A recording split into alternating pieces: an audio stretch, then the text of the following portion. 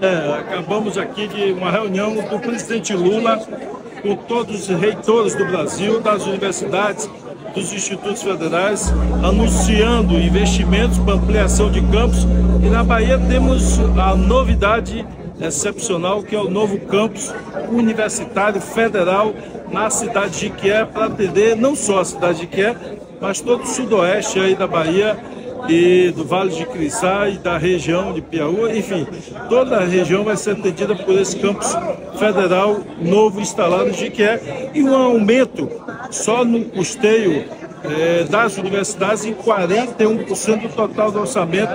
a elevação, portanto, até 2026.